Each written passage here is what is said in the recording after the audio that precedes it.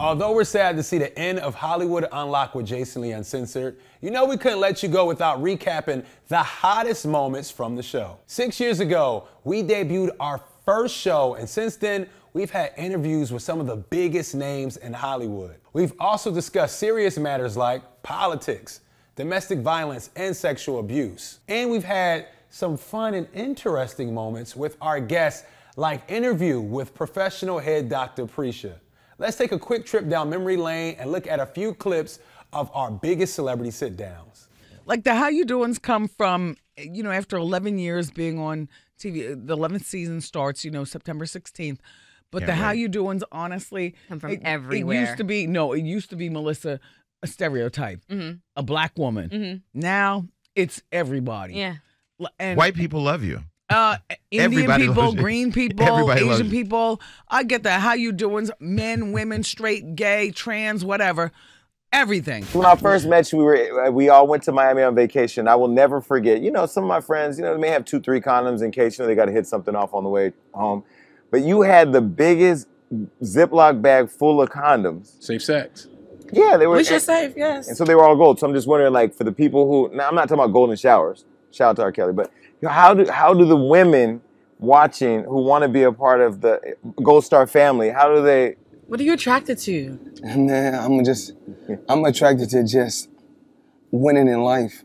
But mm-hmm. far as what Jason talking about with women, okay, he, on- he, he, he going he going over my head. But So you- how about this? How about a, a young man like me? If I wanted to start a the gold medal family, what are some Yeah, things? give him some tips. What's some things I should look out? How should I maneuver in that space? Well, one thing you can say to a female that I saw him say is, if you just give me one percent of your trust, I'll earn the other ninety nine percent. That But, was crazy. oh my God, you got, Man. ooh. Oh, so give me the game. You Give got me the game. game. Now, Floyd, got give me the game. game. I'm just saying. I mean, you can say stuff like And his I- eyes soften whenever he looks at me. Like he has game. You can say that. You can say stuff like, "I ain't trying to be your man. I'm trying to be your sponsor." I mean, it's just different things. Well, now, now And I- but then, but then, You all came to Puffy's house, and when you got there, I said to her earlier on the show when we opened that you you were different than you are right now. You're turned on. You're Cardi B right now, but when you got there, you were really low key. I said, "Hey, Queen Cardi," you're like, "Nah, nah, nah, nah I'm not the queen." You, the thing I love about you is you just come off very humble, and I like that. Oh, well, thank you, thank very much. Certain things I get, some things I'm a little cocky on, you know what I'm saying? So what what are you cocky about? The music? Sucking What makes you the? Because we've had an, we've actually had an oral doctor here on the show teaching people how to suck. And she blew a cucumber. She did. went Yes. viral. I'll Was send you the tanning. link. I want Yeah? to be that cucumber so mm-hmm. bad. I don't know. I don't know where it is. Just told me to, to, to tell me all the time, and it's like, damn, I want. I don't know where it is, but I ain't gonna. I ain't gonna tell y'all because I ain't gonna tell y'all my secrets. Why would I Right. want to tell people my secrets? It might and have- they're gonna be good like me.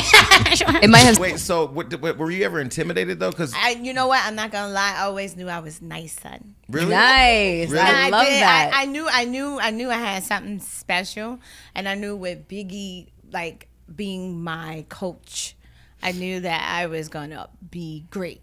When I knew I was real Mm-hmm. you good, listen. I I listened to. He used to call me a lieutenant. Mm-hmm. I don't know if you look on like some of the albums and if you listen, he says lieutenant in some of the songs and stuff. He's talking about me, Mm-hmm. and he always called me a lieutenant because he said he could tell me something and I would put it into motion perfectly. Mm-hmm. He already knew that I had what it took to be. You know, when Biggie passed, it could have been any one of us who had to be the one. Mm-hmm. You know.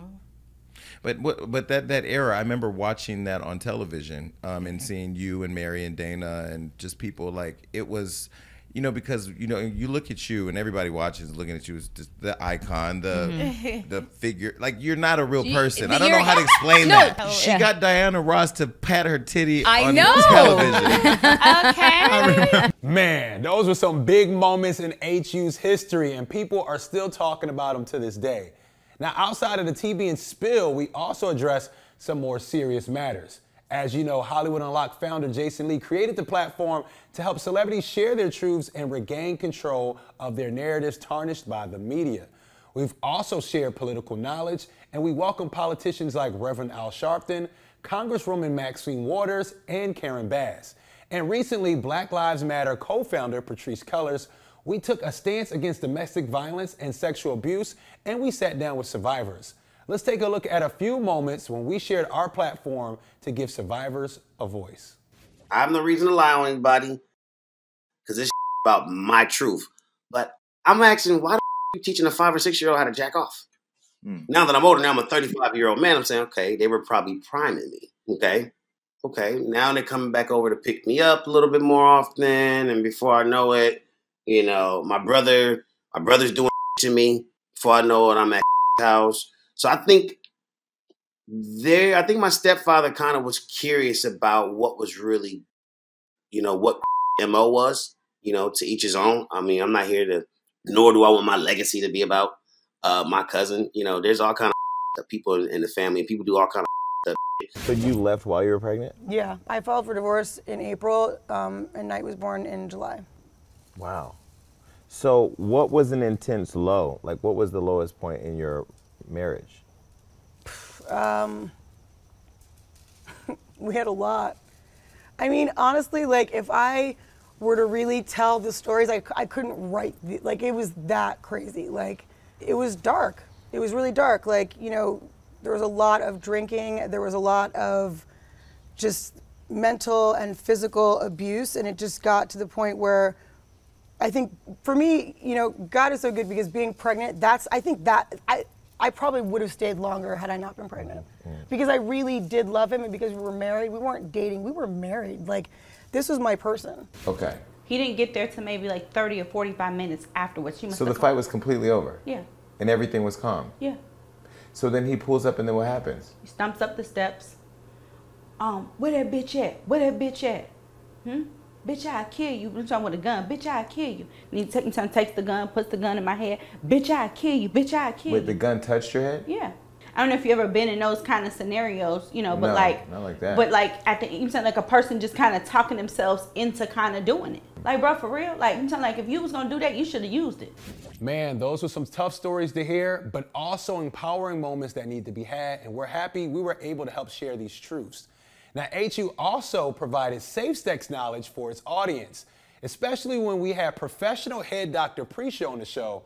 Things went from zero to 100 real quick. Yo, get a hold of yourself. Let me say. But I can go again. Though. No, it's Wait. Oh no, you're fine.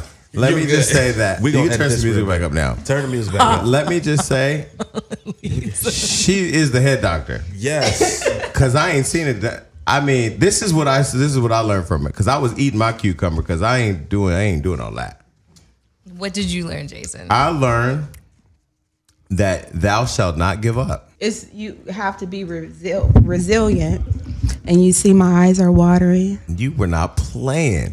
Man, we had some wild times on Hollywood Unlocked with Jason Lee Uncensored. We thank you all for joining us on this wild ride, and we hope you stick around to see what's next to come. You know, Jason Lee's always up to something, so be sure you don't miss out on any updates, and make sure you subscribe to our YouTube channel and follow us on all social media. This is DJ Damage signing off. Peace.